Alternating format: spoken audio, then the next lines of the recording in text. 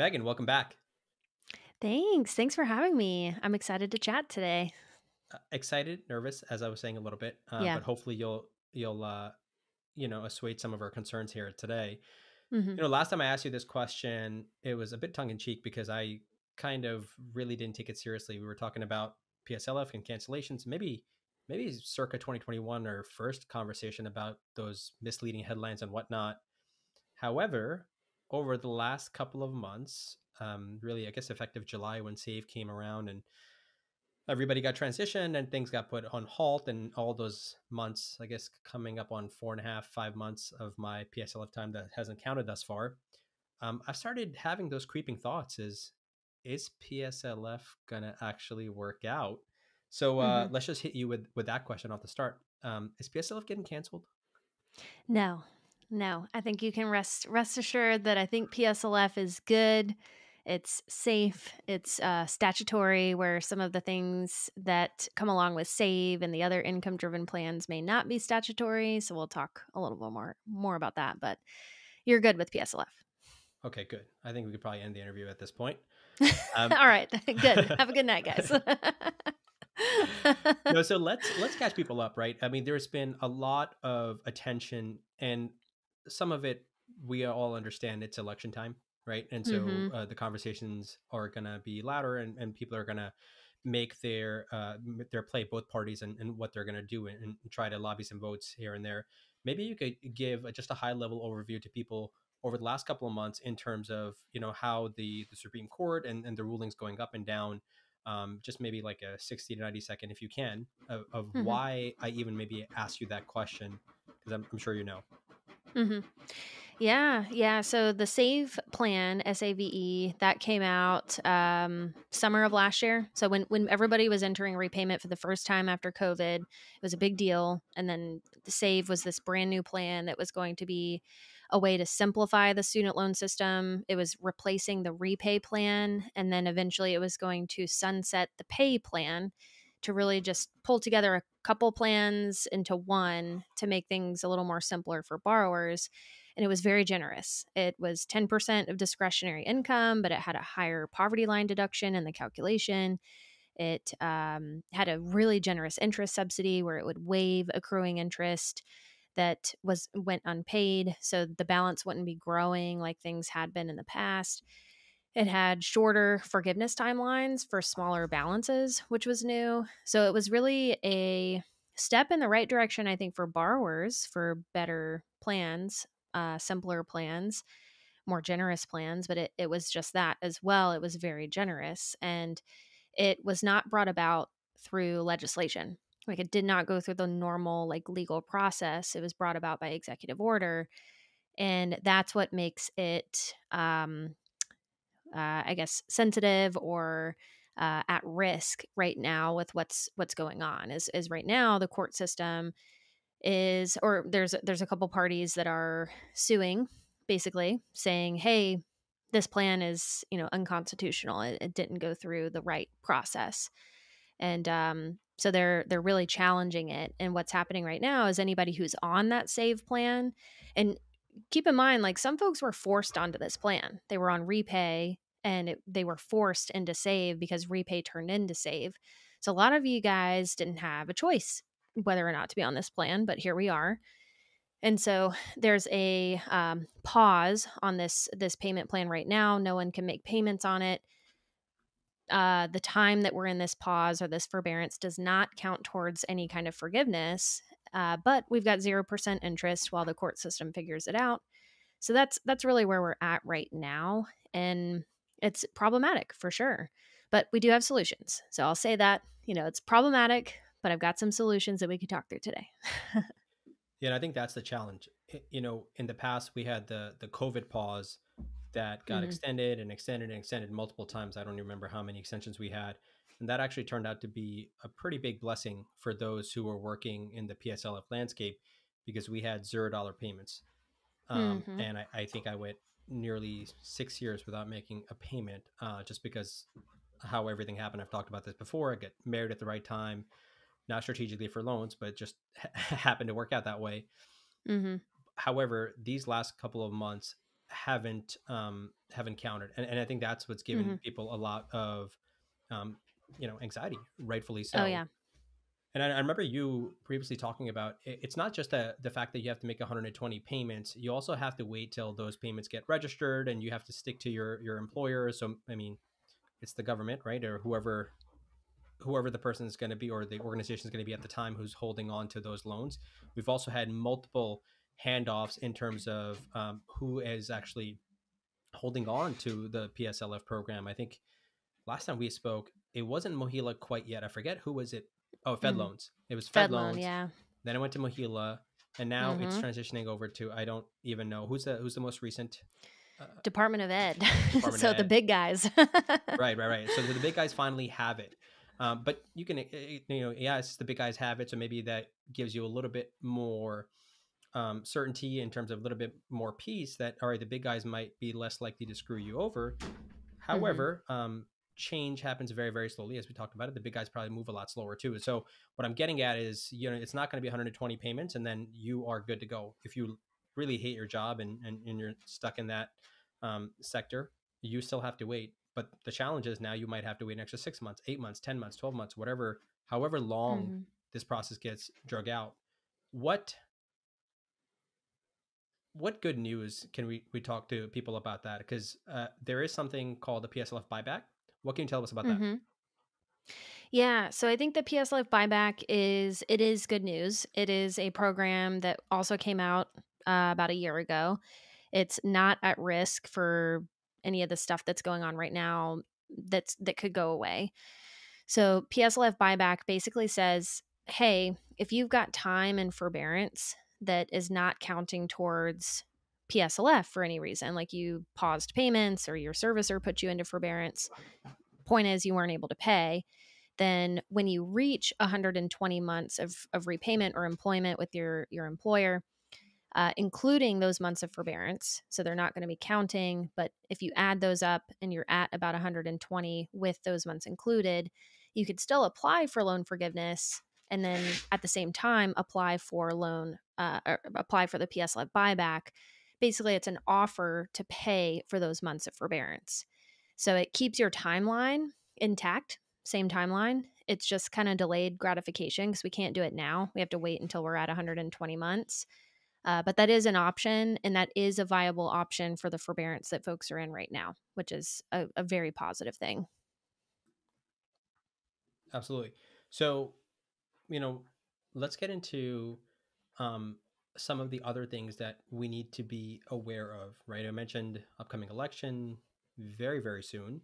And you said that there are some outstanding decisions that we have to be made. Or rather, actually, before I even ask you that, um, there was a recent update that happened, right? There was a court hearing. Mm-hmm. Um, can you catch us up to uh, on on what the what the verdict was from that, and and how that might change something in the very near future? Mm-hmm. So we're we're actually still waiting on the response from the judge, but the court hearing was on October 24th, and uh, we're recording this towards the end of October. Um, so we're still kind of waiting on the final say. But the the hearing itself didn't go super well, and what I mean by that is uh, both parties came to argue their case on whether or not SAVE should. You know, it, was SAVE in question? Was it all the other income driven plans in question for loan forgiveness? Was it PSLF in question? And at first, it was kind of confusing because the judge didn't totally seem to understand how income driven repayment worked. So that was a little embarrassing. Um, but then we had. But not surprising, um, though, right? Yeah, not surprising. It, it is, you know, the court system, the judges, they have to rule on a wide variety of topics. Um, but, you know, for folks who are immersed in this world, you have student loans, like this is personal. Like this is going to affect your bottom line, your budget. And so um, I think that's why some folks were taking offense to it. And uh, but basically the the what came from that hearing in summary was that it seems like they are getting real technical with the intention of the language of the ICR legislation, which handles the income contingent repayment plan and the pay as you earn plan and also the save plan. So, not IBR, not income based repayment. that's uh, statutory, that's written into legislation. But this other uh, language, they they kept getting hung up on the fact that it kept saying repayment, where the question was is forgiveness still a viable option for these other income driven plans? Can we go ahead and process forgiveness for these longer term forgiveness folks and for PSLF? There was no um, there was no bucking at PSLF, so we're we're good there. But it was for those who are waiting on the 20 or 25 loan uh, year uh, loan forgiveness. Like, could we get forgiveness for those guys? For those who have gotten to that point, and the answer was hold off on that for now it seems like we have to have more conversations about it, which is a little nerve wracking. But IBR is safe. It seems like, and, and this is not over. So I want to say that too. This is not over. It just means that this injunction is, uh, injunction just means a pause. It's telling the Department of Ed, hey, don't process forgiveness for longer term income driven forgiveness on any plan other than income based repayment. So new IBR or old IBR. And PSLF. Like PSLF is fine as long as we've hit 120 payments. Um, and then save. Save is is the obvious one. So that's that's kind of where we're at right now, and we'll be waiting on the final decision on if save is going to be repealed and what's going to happen with ICR and the pay plan. Meagan, do you mind just giving a quick overview in regards to this court hearing about what both parties are, are essentially standing for and what they're fighting for and why? I feel like some some of our audience mm-hmm. might be like that judge that you know are kind of like, what? Why is this even happening? yeah, yeah. So um, one side of the equation is arguing that um, this was not the nature of the income driven repayment plans. The nature was not to forgive a bunch of loans uh, even though it was written into the language. There, you know, forgiveness was written into the language, but they keep getting hung up on the intent of exactly what that meant. And I take that to say, like, they didn't realize how much loan forgiveness could happen through income driven repayment. And in a way, I almost blame it on the schools because the schools have been taking advantage of this as an opportunity. Um, to raise prices because they know that if people can't pay the loans off in full, they can lean, lean on loan forgiveness. Sorry for the backup noise. So sorry. No. Um, now the other party, other party, other side of the equation is so sorry. Okay, sorry. My husband was getting home, so they were getting excited. Oh, uh, gotcha, gotcha. yeah, all good. We love dogs. so other side of the equation is, of course, fighting for hey, this has been part of the language for years. If there was an issue with this language, it should have been brought about years ago or at the start of this. Um, and and save is basically a um, extension of this language. That's why save is kind of the save was like the big it was almost like the nail in the coffin for this. It was folks were already kind of upset about the availability of loan forgiveness through these income driven plans. Maybe it's too generous, whatever the argument is. Um, Save came out and it was kind of a sneaky way to get forgiveness. Because do y'all remember when it was it was said, "Hey, we're going to do ten or twenty thousand of loan forgiveness for everybody." Y'all remember that back in like COVID days?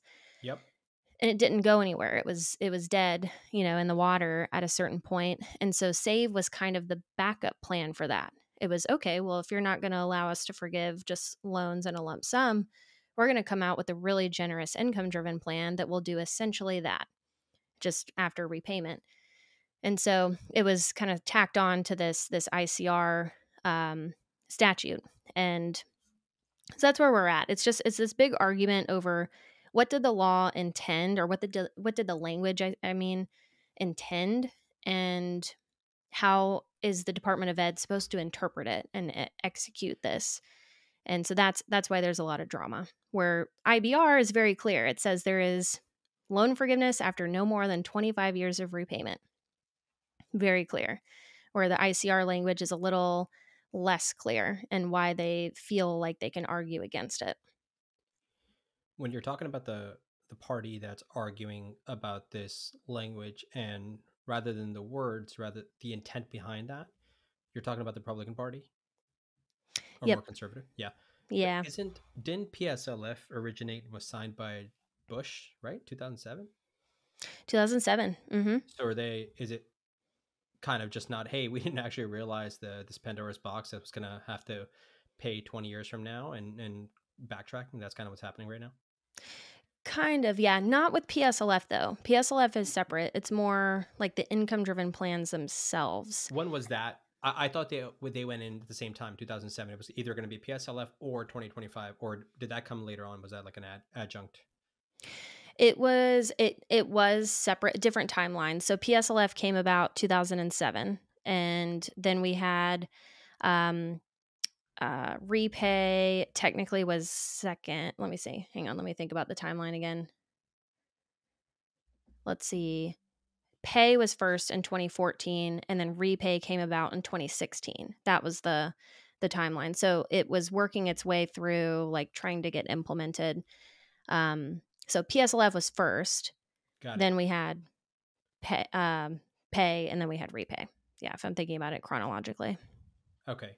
So I'm just trying to understand the history of it, right? So the PSLF primarily initiated, I don't know if it was initiated, but I know it was signed up by the Republican Party. And so I guess Mm. now President Obama was in office when they had said, okay, if you're not going for loan forgiveness for 10 years, you're still going to, okay. So, so they're basically Mm-hmm. Yeah. fighting that additional part. And so that, that makes a little bit more sense. Correct. Yeah, Obama was part of the pay and repay era, and then Bush was the 2007 era. Got it. Yeah. So that, I think, anytime it's election time, it gets to be all, all these topics. I, think you know they're they're always in the background. Policyholders Mhm. are talking about it. The people who care about them are always talking about it. Like there's, no, there's nothing new about this to you and Travis and, and your whole team, right? And even some of our listeners and us because we've had these conversations for the last three years. But Mhm. election time, it's front and center on everybody's mind. Yeah. I guess how do you advise your clients or just people in general to be able to sift through the noise for the signal? Like, what is it that people should be paying attention to that's actually going to make an impact 10 years down the road, 20 years down the road um, to their day to day and even their future jobs, employers, and that kind of stuff versus the stuff that they should just sit tight and ignore about, you know? Mm-hmm. Yeah, it is hard because there's a lot of information, and I feel like too. What's a little frustrating to Travis and I um, at Student Loan Planner, it's stuff that gets thrown out there that we kind of know is not going to go anywhere. It's almost meant to be like a good faith, like, "Hey, I want to do this," but we know it's not going to go anywhere. Um, so, for an example, there was a recent announcement about additional forgiveness opportunity through canceling a certain amount of interest above, like if you, if you had any accrued interest, they were talking about canceling that accrued interest. Or um, there was a couple other nuances to that, but that was announced, and then it was pretty much immediately struck down. So it was almost, a- and I think they knew it was going to get struck down. So it's almost like the good faith stuff that's thrown out there that we know is not going to really go anywhere because it doesn't have any legal standing is pretty frustrating. Um, but I think the best advice I could give somebody who's like just trying to figure out, hey, what should I pay attention to, is um, I think for one, you you need to know, of course, what path ultimately are you trying to get to? Are you trying to do PSLF? Are you trying to do income driven loan forgiveness? Or are you someone who's going to ultimately pay off these loans? So filter yourself into one of those buckets first. And then I think for PSLF folks, um, right now, what's important is if we're on income based repayment already uh, or pay as you earn, if you're on the pay as you earn plan right now already, good news is uh, your payments right now are counting towards PSLF. So we don't have to worry too much about all of this drama right now. Just keep chugging along. But if you're someone going towards PSLF and you're on the save plan, you're in this save forbearance, um, the months that are happening right now that are in forbearance, we're not counting. Those aren't counting towards PSLF, but we have the fallback of the PSLF buyback. So that's something we have in our back pocket. And our suggestion right now for PSLF folks is to hold off. Well, two suggestions, and it kind of comes down to your risk tolerance. One suggestion would be this this is going to be a relatively short period of time. Like I think this is going to work its way through the Supreme Court in the next we're in October, end of October, so in the next 2 to 4 months. So maybe early, you know, spring of 2025 might be the latest by the time we hear what's going to happen with SAVE. And so I I would suggest for those that are okay with waiting, just hang out in the SAVE forbearance it has 0% interest. It's not counting towards PSLF, but we can lean on the PSLF buyback. Um, and then, you know, that, that could be something that you do on the back end of your repayment journey, no matter what happens with save or having to switch to a different plan later. If that uncertainty makes you nervous, then you can go ahead and switch to income based repayment, which we know for a fact is going to count towards PSLF right now. So if you like certainty and you're okay with making that switch and you're okay with maybe a change in your payment for the benefit of having certainty, then go ahead and make the switch over to IBR. The applications are back up and running and you could do that now. so that's my suggestion for PSLF folks until we know about the fate of save. And then for longer term forgiveness folks, um, I think I think the risk tolerance question is still the same. Like if you're okay with waiting to see what this is going to shake out to be, just hang out, maybe continue to put money into savings, like prepare for maybe having to you know, if you want to buy back months in the future potentially, that that could be a good idea to have some money set aside for that in case it will apply to PSLF folks or non-PSLF folks where you can purchase months towards the forgiveness. Um but I, think right now it really is, and as annoying as it sounds, it is annoying. Uh, I think we're we are in a pause where we're not going to know exactly how to react. But I think if you have kind of a calm head, you know, like okay, well, if this is going to happen, if save is going to be repealed, you know, start to think about your backup plan. And it's probably going to be IBR, income based repayment, unless they come out with a uh, they come back with repay or they come back with pay. So start to have an idea of what that might look like just to prepare yourself and then kind of wait or make the switch if it's really going to make you feel better. Wait, just so I understand this clearly. So they got rid of repay altogether and shifted everybody mm-hmm. to save, but they did not get rid of pay, correct? Mm-hmm. So yes and no. So they didn't get rid of pay as long as you were already enrolled on it mm, okay. as of July. Yeah. Right. So you can't switch into pay. That right now. Yeah. And IBR is 20% discretionary income. What does it remind me? IBR is 15%, yeah. thankfully. So it's less than ICR. right. Okay. So repay and pay over 10%. Yes. Mm-hmm. Got it. Um, let's uh, break this buyback for me down a little bit, right? So we, let's say we mm-hmm. have a trainee who's making just, we'll keep it simple, $50,000 a year. Mm-hmm. Their payment is going to be very, very low um, when they are buying back, they're presumably going to be attending. Let's say they're making mm-hmm. 250. At that point, how does the how is the buyback going to work exactly? Are they going to be paying back those months for that resident salary they were making at the time, the months they lost, which would be now, or are they going to have to pay from that attending salary? Like, how's what's mm-hmm. your gut in terms of how that's going to be calculated? Yeah, that's a good question. And it is already spelled out in the PSLF buyback language where it would be off of the income from that tax year. So when you're attending. Uh, when you are no, sorry, the tax year that the forbearance happened. So, so now that person would pay off of the residency income. Yeah, thankfully. Yeah. Okay. And so that would be you're making a lump sum payment to kind of get that back at that point. And that's where mm-hmm. the saving comes in. So other strategies, like I know there was a long time ago in the very, very beginning, maybe circa 2017, that you guys were and maybe other um, knowledgeable people in the space were also saying, oh, listen, if you know you were have some uncertainty about PSLF, this is prior to people actually getting forgiveness, then maybe you could put a high interest savings account, which mm-hmm. fortunately there's a lot of them now on the side, yeah. and then in our recent conversations that we had, you're no longer rec- recommending that, and a lot of people aren't doing that but for this specific context, that makes sense. Other things um, that you haven't already mentioned that might be worthwhile if we're talking about contingency planning, it doesn't mm-hmm. necessarily have to be from a student loan perspective. You had mentioned you're a financial planner, right? We mm-hmm. talked about this, right? And that's kind of how you got your start. Um, what other things are, are you counseling your clients or your um, about these things? Mm-hmm. Yeah, and one last thing I'll mention too, in re- in regards to the student loans, and then I'll talk about other financial tips. Um, IBR, income based repayment. There's two parts to that plan. There's new IBR and old IBR. New IBR is if you are a new borrower, meaning you did not borrow before uh, July of 2014. So let's say you are relatively uh, recently graduated, um, newer in your career, or maybe you didn't borrow for undergrad and you borrowed starting in like 2015. You're going to be eligible for new IBR, which is essentially the same thing as the pay plan. So, pay is uh, 10% of discretionary income and a 20 year timeline to forgiveness without PSLF. Um, and then with PSLF, of course, it's the 10 year timeline.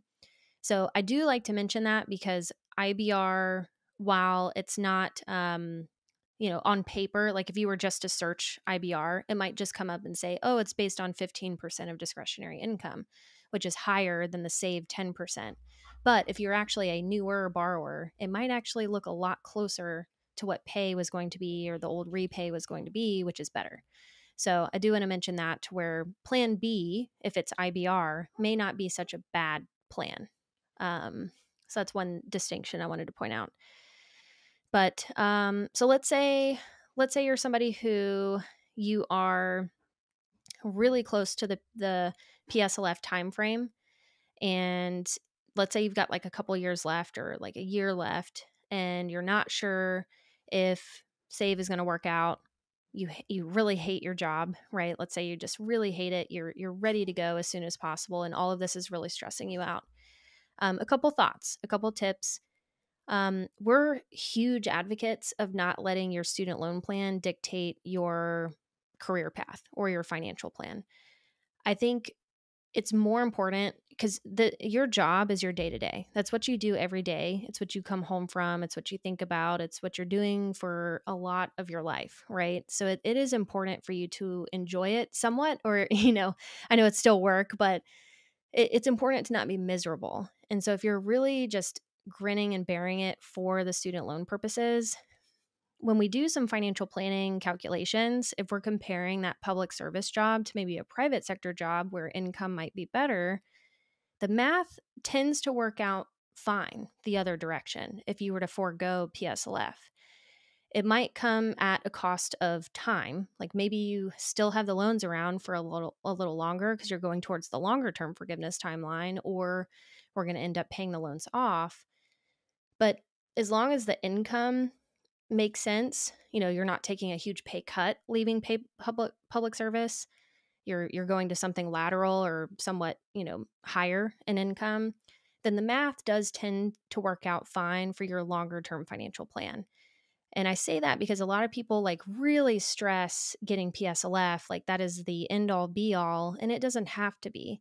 Feels like it because in the now the math looks like very different but in the long term it doesn't make a ginormous difference so i do like to mention that um, but that that's like my first initial thought from like a financial planning perspective quick follow-up on that those people yeah. that you encounter that you're kind of referencing there how many of those are big readers of fire and those types of movements right because I, I think that's that's where it comes is i got my entry card into this whole situation in may of 2017 when i graduated and i just had mm-hmm. nothing to do for a whole month then and i read like every blog on White Coat Investor.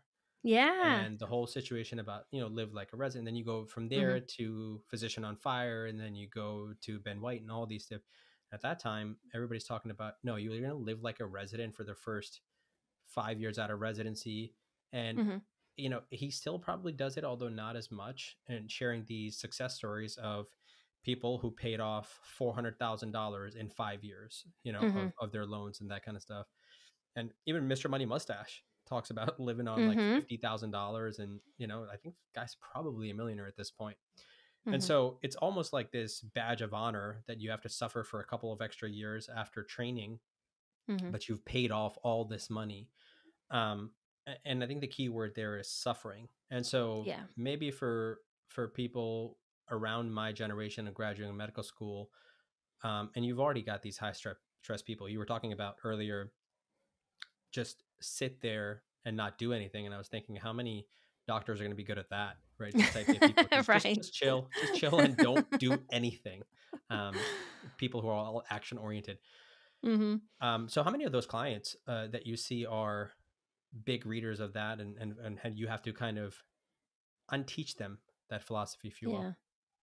Yeah, I think that's a that's a really good question because we do, you know, it's interesting because I do remember that stage like around that time that they were huge. Like those those um, you know, folks in the financial planning space, financial blogging space, like they were that was their time. And, and it still is. They're very prevalent. They're very very much still like a white coat investor sends out a daily newsletter. Like it's impressive daily, right? Every day. Um, but I, I think um, what folks are starting to also feel and kind of understand with their finances is that that doesn't have to be the answer right i think i think that was also along the same lines of the same mentality of that there's only one way to tackle debt and it's to pay it off really aggressively and to not really trust certain programs like PSLF or you know income driven forgiveness because again like within the the student loan space like within the debt space at all like forgiveness does not exist with any other kind of debt. So historically the mentality has been pay the loans off as soon as possible no questions asked like pay it off like your hair is on fire and there is some suffering in that right there's prioritizing that debt over all else over your health over your mental health you know over a lot of things and so with that being said, I think um, there's a combination of folks that we we typically talk to. We talk to some folks who are still on that train. They're still very much having a real big problem with thinking about uh, a different way of paying the loans back versus um, you know pay off versus going towards loan forgiveness. Like that doesn't sit right with them, but the math is telling them to go that route. You know. Um, and then we have other folks that have tried the suffer route They've tried the grin and bear it, just, you know, pay things off as soon as possible. And it's not worked out for one reason or another because either they got exhausted or life happened. They had a kid and things changed, or a family member was sick and, like, you know, money was different. So I think we've worked with folks on a couple different capacities. But I think what it boils down to is, um, you know, personal finance is very personal. And so we could talk about the math answer all day with these forgiveness programs and what they could be, what they might look like. And we could compare them to the payoff strategy, but it, it does come down to that person and their desire for like what they want to deal with, right? What they want to commit to. Um, so I don't know. That might have been a roundabout answer on like how who we talk to, but um, th- there's a range of the folks that we typically talk to there. Yeah, no, absolutely. And I think Altamash and I both being on social media, the way that we're wired, we tend to see more of the people who, you know, go into the fire, the fat fire realm of things. And, you know, just to throw yeah. out a few ideas out there, I know, um, Altamash, have you read Bill Perkins' Die with Zero? I haven't yet, but I know about his philosophy. You right. Okay. So Meagan, I don't know if you're if you know Bill Perkins or Die with Zero, but essentially his philosophy is, you know, we, we come to this world and the quote unquote old school mentality is to you know go through the suffering delayed gratification um, keep saving keep saving keep mm-hmm. saving for a rainy day but yeah. where is that rainy day right every day can be rainy if you, if you really want it to be um, and so his philosophy is mm-hmm. Spend enjoy the present moment enjoy your life for what it is now and you can really kind of do both things right and i think what social media has allowed is bringing back historical context like even stoicism right? People who follow Ryan Holiday on mm-hmm. social media. And then you oh, develop oh, yeah. this stoic philosophy of, okay, delayed gratification. I'm going to put my, you know, I'm going to work the job and be uh, suffering for five years. But in the end, I will have a much better future. And I tend to think about this as why do people work so hard now and save their money and try to grow it? And it's because they're hoping for a better future present moment right? So they're they're hoping that their present mm-hmm. moment in the future is better than the one that they're currently in. When you really break that down, the the present moment is singular, right? It's going to be the same regardless, and we're looking at external factors to now bring us that happiness and bring us that joy, and most often money, right? And we're looking at money to kind of buy those things. Um, so I, you know, just kind of throwing that idea out there. I really appreciate your insight, at least, too. Just you know, letting people know that it's not worth the suffering. I, I truly don't think it is. um, to be in a job where you're solely just kind of thinking about your finances. You know, as, as important as it is, especially in today's climate with inflation and just the crazy politics, you know, that we're talking about. And when judges can't understand what's going on and everyone's trying to learn about what the writing is, you know, there's a lot obviously going on. Um, so it is important to kind of stay on top of these things. But in the end, too, I think we all have to kind of look at our own happiness um, and see and see how much that matters too in the grand scheme of things. mm-hmm. Yeah, I wanted that- actually. Sorry, I just want to double down on that. Uh, Darsh was talking about stuff that I think a lot about. Again, um, the die with zero thing was actually really interesting because when Bill Perkins came out with that, I guess maybe it was probably about a year and a half, two years ago. I noticed a lot of financial people, or I'll say they're not necessarily financial advisors. I know Jimmy Turner's been on here, phenomenal guy. He talks a lot about that. He loves that book too. And I think actually um, Jim Dahle had put some stuff up about that as well and how it really moved these people. And you know, you think about when you talk to people who do work really, really hard and they're grinding day in and day out and they're sacrificing time with their family in their kids' younger years because they're working so hard to be able to make that money. So when they get older, they can retire early and then they can enjoy that time with their family, you know, and, and maybe their kids are going to be in their teenage years. Maybe their kids are going to be young adults at that time when you can finally achieve that goal of being financially independent and retire early. And I think a lot of times these folks, myself included a couple years ago, had this idea that you'll make this money, you'll have this big nest egg, and then you'll enjoy the quote unquote finer things in life. You'll travel with your family, you'll do all that kind of stuff. But the fact of the matter is, if you sacrifice all that time earlier on in your kids' lives, you miss those soccer games, you miss those musical mm-hmm. plays, you miss all that stuff. Well, when you're ready to enjoy that time with your family, your family's going to not want anything to do with you. your yeah. kids aren't gonna want to be around you because you weren't around there because you didn't build those relationships right now they have relationships with friends and boyfriends and girlfriends and, and that kind of stuff and they'd rather go on vacations with those people and so now you just got this money i say this because i actually have patients come and share some type of story like that with me where they're like yeah i'm retired but like the kids don't want to be around or this and that kind of stuff and and you know this mm-hmm. conversation just got me thinking about that it's like okay well what what's the point? and we're all probably familiar with some of these studies that have recently come out that people who spend more money on experiences seem to be a lot happier and do a lot better rather than on you know objects and materialistic things and whatnot and so i guess what mm-hmm. what i'm sharing is you know that got me thinking it's like you know darsh is phenomenal at traveling the world and enjoying it right with his better half and I'm sure that if you had some kids like that, they're going to be into that experience and those are the memories you're going to build. So that's another mm-hmm. piece that I think is really worth considering. It's like, why do you want to save that nest egg and become financially independent? You know, so mm-hmm. just to kind of, I, I think we're all commiserating about the same thing here, but just two cents there. Yeah. Yeah, I love that. Well, and that, and I think too, and that's why I said the thing about the financial planning, you know, thought process there, like where PSLF doesn't have to be the end all be all, or, mm-hmm. you know, you don't you also don't have to take the flip side of things and be crazy aggressive towards paying and putting everything towards your loans. Like i think there's a there's always this happy balance that you can find with the right game plan that prioritizes the things that are really important to you that make you happy and the things that are financially responsible.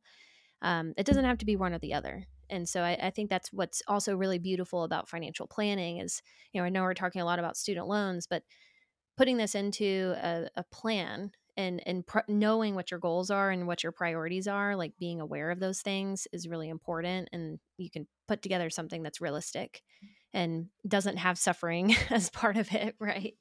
Um so life's too short. We're totally on the same page here i think.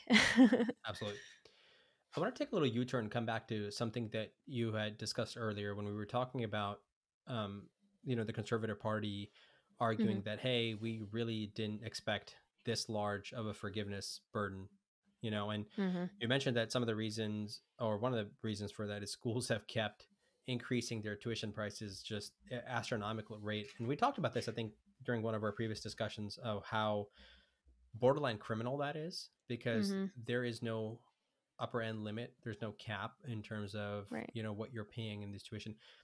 do you is that something that you're aware that is also being looked at during these discussions like i i would think that some sensible person would say why is this happening oh we're on the hook for all this extra money why is that happening oh it's because i don't know like rutgers university in, in state new jersey um, is, is going to be a hundred thousand dollars by the time or more than that probably by the time my daughter's ready to go to school and mm-hmm. you know hmm. at this rate that's not sustainable so is, is that mm-hmm. something that's in the works or in the discussions about hey we need to cap these these universities that, that you can't charge more than this are there any laws or anything like that so uh, yes and no this has been looked at in the worst cases so schools that were legitimately defrauding students or closing down before they could graduate with the degree that they were at the school for. Like they did do a good job um, with coming in and implementing what's called the borrower defense program. And so if you feel like you've been defrauded by your school or uh, you know they had deceptive enrollment practices for you like telling you you're going to graduate with this degree and make this amount of money and you know there's a few different stipulations that you could argue but if you felt like that that was you or your school literally closed while you were in the in the program and you weren't able to complete it or transfer credits to a different school then there is that program for you where you can apply for discharge of your loans either partial or full discharge. But that's you know that's the worst case scenario. That's that's in the you know where where we find issue is also the the middle ground where you know who says that nursing school can't cost a hundred grand a year? No one. No one says it can't. And we live in a capitalist you know economy nat- nation where businesses can set their own prices for what they deem the value is. And our system for student loans is you can borrow up to the cost of attendance and the school sets the cost of attendance.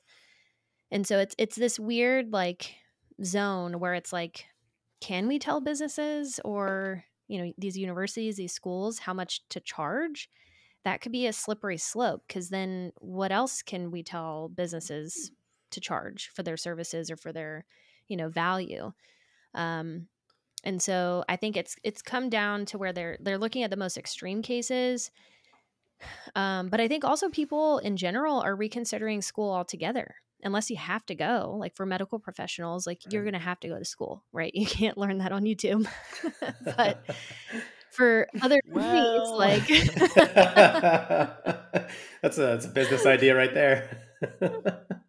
right. No, I mean, in all seriousness, it's it's funny that you say that. I I, I pulled a, a bunch of my third year students aside, and I was giving them some some tips of how to be successful in future rotations. I, I said this. I was like, guys, eighty percent of probably what you're going to learn from me, maybe more than that, a combination of AI and YouTube. You, you can learn that, right? I mean, there's the experience and some certain skills. That is what I think the attending adds a tremendous amount of value, right? The anecdotal mm-hmm. experience. That's where we offer value, and some unique techniques that, that we've just. But again, I put that in that you know skill set and experience category as well. Uh, it's phenomenal. It's phenomenal what ChatGPT can do now, and I've uh, Darsh both and I have, have kind of upgraded, and this is not a, a an ad for ChatGPT by any means, but uh, all AI is that'd like, be pretty cool, right? Yeah, right. Yeah. if ChatGPT was paying you, right? ChatGPT, if you're listening, which but, probably um, is. yeah. Um, I mean, the, the amount of AIs that come in when it comes to research and all this kind of stuff. So it, it's an absolute game changer over the last two years in, in mm-hmm. acquiring education. So it really does does beg the question it's like why the hell would somebody go to a four-year undergrad degree and stuff? I mean so there's got to be shortcuts to the system that we need to start figuring out. You know Dar- uh, darsh and i were talking about a, mm-hmm. a, podcast with eric weinstein talks about shortcuts everywhere and you just need to identify those. And so um, maybe maybe that should be part of the that planning process too. But again um, and i don't remember if we talked about this this is this is why these conversations need to be had at the middle school and high school level right? This has got to be part of that curriculum so you can start making those informed decisions um, and not have to figure out okay all right well i've already t- i've already made these quote unquote bad decisions and now i'm i'm stuck. Like how do we how do we bail out of this right? It's it's actually if i think about it um, it's an analogy is is kind of the the sick care system. When we see patients when they are uh, sick and we're like trying to get them out of a mess and and you're seeing people on the back end when they're in this mess and you're like oh man if we only made some some smart decisions early on we wouldn't have had the the issue and in our case you wouldn't have had this disease at this stage or this injury you know so mm-hmm. a lot of mm-hmm. similarities there yeah yeah definitely and, and i agree i do think conversations about the return on investment need to have need to be had a lot more about school because i think um school is the cost of tuition the cost of schooling has outpaced anything. Outpaced wages inflation outpaced you know home prices i feel like too. Like it's it's wild like the percentage of increase per year. Um, and so the, the, conversations do need to be had about you know what is that return on investment? And i do think i you know this is sounds pessimistic how we're talking about it but i do think a medical degree like going to school to be a physician a dentist a vet like there is still value in like if you have no other means but to borrow to go to school and that's been your dream to be this profession to practice this profession like you're going to have to to borrow the loans to go to school or get scholarships or you know find grants ways to kind of reduce the cost of attendance but this the math still works out to where the income potential and you doing what you wanted to do with your life with your career like it still makes sense and there is still a game plan that you can you can have to pay down the loans you can think about it as kind of a tax on your income post graduation um, but that's that's the return on investment. You've got that great income post graduation after your training and you pay a tax you know for your schooling for a period of time and then you're done. So that's how you can maybe reframe it to be a little less scary if if you know it is important to you to go to school for something that you have to borrow loans for. Yeah. I think you answered my question when you were talking about how, you know, it's up to the college really, and we live in a capitalistic society. But I guess I'll reframe it too. Is there a world where it's actually beneficial to possibly even get rid of these loans, public service forgiveness? Because I've listened to podcasts where there's older medical doctors, maybe in that quote millennial boomer age, where they're like, we did it and we can get rid of these loans and, you know, it's not a big deal um, etc. And maybe it ties into about the court case and why they're looking really just at the wording. Like, what is that deeper level? So I don't know if you can tie that all in together, but one, is there really a benefit to a world where these colleges keep increasing their prices? And two, what are we masking with just looking at the wording? What is actually that deeper level um, that the party cares about? Yeah, I feel like so. Let's see. I think the deeper level, I'll kind of think through that for a second.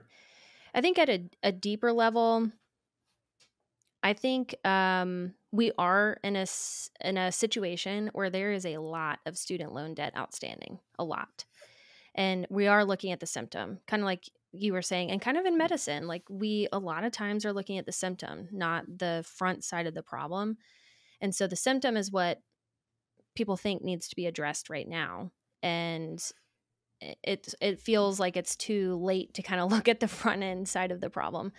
Um, so I think what is possibly happening is on the Republican side, we're wanting to um, reduce costs, honestly, because it you know this forgiveness is expensive. It takes away from where money could go. Um, not compared to other projects like student loan forgiveness is not the most expensive thing on the docket that people are talking about. Um, but it is an expense. And if they're trying to cut expenses somewhere, like that might be one place that's kind of low hanging fruit if they're able to make some movement there um, on on tax dollars. I mean, because this you know forgiveness itself is one part of the problem. There's also the um, so longer term student loan forgiveness also has that potential tax implication. If you remember us talking about that before, where when there's a balance forgiven on not PSLF, but longer term forgiveness, there's supposed to be a taxable consequence for that because the IRS sees that as a um, you know benefit to you, and so they tax you on it as if it was income.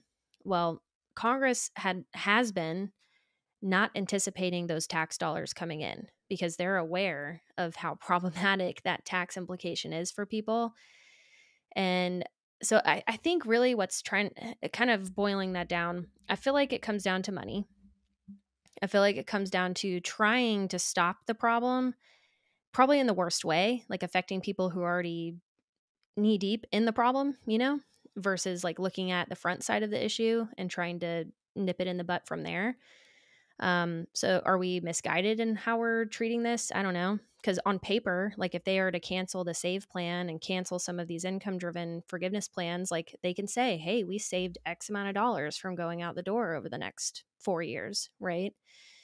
So that's maybe kind of at a deeper level what it what it's coming down to my thoughts but i don't know what do y'all think about that before i address maybe your second part of the question well just to kind of put some numbers on it i, I did a quick google search um, as of september i think of this year we're looking at 1.6 trillion in federal student loans. So mm-hmm. um, which makes up about 6.6% gdp I, I mean it's not it's not a huge thing but it's not mm-hmm. something to scoff at, right? So there's a lot of good that could be done with that. And just to give people context, because something that a lot of people talk about in, in terms of how the United States has, is so inefficient in terms of spending their healthcare dollars. And in 2023, the U.S. spent about 4.8 trillion on healthcare, right? Mm. And so when if you compare it from that standpoint, I think Darsh and I were talking this morning about Dr. Marty Makary and his new book Blind Spots, and talking about how corrupt um, and this is uh, more paraphrased, um, the the healthcare system is in the United States and how much more money we spent compared to some of these other developed countries, and, and we're not getting healthier. Maybe that, that gives people a sense of, all right, um, that that that is pretty significant burden that we could be doing, and those those dollars could be going to other places, right? If we weren't mm-hmm. just racking up these these bills and that kind of stuff, and so certainly a complex situation. Mm-hmm um, but I think it, it really helps uh, when you guys um, or a student loan planner and a lot of other similar folks um, try to sift through the nonsense to simplify it for us. Uh, I, I, find it really funny. It, it's it's like um, Travis is like a, a, a reporter um, I know, like right? war zone, right? Like he'll, he'll be like at the airport and, and he'll do a quick live stream just to catch people up. And, and I always find them to be super funny. He's like, Hey guys, coming to you from the front lines. Uh, here's an update on the, right. on, on, the hearing. So, uh, we just got to get you behind the camera there, Meagan. Um, Darsh, anything, anything else to, uh, to close? Uh, I think that's, uh, pretty much all I had, but, um, or, or Meagan, the floor is yours. If you have any parting words, uh, for, for the people to kind of keep calm, uh, amidst the chaos, um, anything you got? Yeah, I think I, I do want to just acknowledge that this is a stressful time. Like, don't feel like you shouldn't feel any type of way about what's going on. Like, this is a pretty stressful time. There's a lot of uncertainty, but I think hopefully you can find some comfort in knowing that there are alternatives to what you thought your plan was going to be if if it may change here coming up and it may not be as bad as you thought it was going to be so it might be a good time now, especially if your payment is paused, to just take a look at okay, well, if this original plan doesn't work out, what can I pivot to? And what is that going to look like? That way you can start to kind of mentally, maybe financially prepare for what that might be. Um, and there's support out there. If you need some one on one help, like we can help. Student Loan Planner, we're here for you. Um, we've got a lot of free content on our website too, like calculators that you could use to calculate your payments, blog articles, um, you know things like that so you're not alone you you are certainly part of this uh, unfortunate club you know that we've got student loan borrower club that i'll call it uh, but definitely we're, we're gonna get through this and it's you know it's hopefully coming to an end here soon. Yeah and uh, know I'm, I'm thinking about what you said earlier and reminds me of um friend ryan inman uh, used to talk about you mentioned this personal finance is personal I think it's really important for people to understand as well as you get a lot of unsolicited advice. You hear a lot of people talking about their specific situation and they don't understand the context of your life and what you're going through and, you know, your struggles and your job and your situation. Um, I say this because my wife, who is extremely debt averse, and her and I talk about this all the time, and she had a discussion with somebody who was talking to her about, you know, um, looking at future employers, uh, hospital base, loan forgiveness versus private practice, and her debt burden is even greater than mine, north of three hundred thousand. And what was told to her is, "Oh, there's no way you're you're going to pay that back. You have to look at loan forgiveness. That there's there's no other option for you." That's really interesting because this you know person doesn't really know everything. Doesn't know her. She's mm-hmm. like the most frugal person I've ever met in my entire life, and I have no doubt that she could take any job and and you know uh, be fine. Um, and so it's just really interesting. So just want to caution people is as you continue hearing a lot of scare tactics and, and advice out mm. there, um, just know that it might not be anything meaningful for your personal situation and keep going back to you. And this is really where it's important to have a really good coach who can keep you grounded. Somebody like Meagan, you guys can reach out to her, right? Student loan planner. Where else um, can people find you? And and uh, you know, you'll let us know. Mm-hmm. Yeah. Yeah. Thank you guys so much for having me. And thanks for uh, letting me kind of blab about student loans. I hope this was helpful to your, your audience today. Yeah, absolutely was, Meagan. It's always a pleasure having you on. Um, real quick, though, if people want to get in contact with you, can they email you? Where can they follow oh. you? What kind of resources should they uh, go to? Yeah, sorry, totally missed that that plug opportunity. Um, so student loan planner, studentloanplanner.com. Uh, you can also reach out to me personally. My name is spelled a little funny. It's Megan, but M E A G A N. I think there's like 12 ways to spell Megan, but that's how you spell mine at studentloanplanner.com. Um, and then, yeah, I, our website is super helpful. We have a general help inbox as well. You could just email our general inbox for general questions. But if you'd like some one-on-one help, you could reach out to me and I'd be happy to help walk you through your your situation. Fantastic. We'll get those in the show notes. And you may remember this last question, and we'll ask it again because maybe your thoughts have changed, you know, throughout the years and post COVID and whatnot. But how do we put the health back in healthcare? And feel free to take this in any direction, financial or whatever it may be. Oh my gosh. Yeah. I actually do not remember what I said before. um, let's see uh health back into healthcare. I think okay actually i probably said something about being proactive like because i think financial planning is a very proactive thing and i think your healthcare can be a very proactive thing too so um, you know, take your vitamins, get your steps in, and um, be proactive about your health, so your healthcare provider can uh, can help you stay healthier. love it, love it. You heard it here, folks. You heard it here first, folks. I can't speak, uh, but that goes very well with the theme of what Altamash and I talk about on the daily. So, again, thank you so much, Meagan. Uh, can't wait to get this one out there. Thank you.